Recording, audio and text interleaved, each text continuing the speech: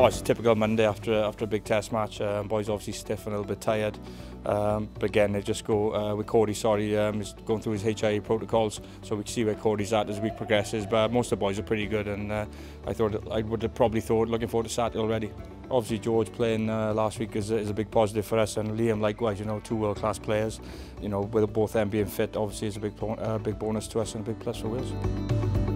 I think we'd have taken the score beforehand.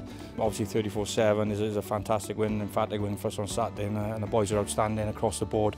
Obviously pleased for Lee, um, I think it was a, a start that I didn't believe that he hadn't scored a try for five years for Wales, which is incredible really. I think that the amount of points he scores and what he does for Wales is incredible week in, week out when he does play for Wales.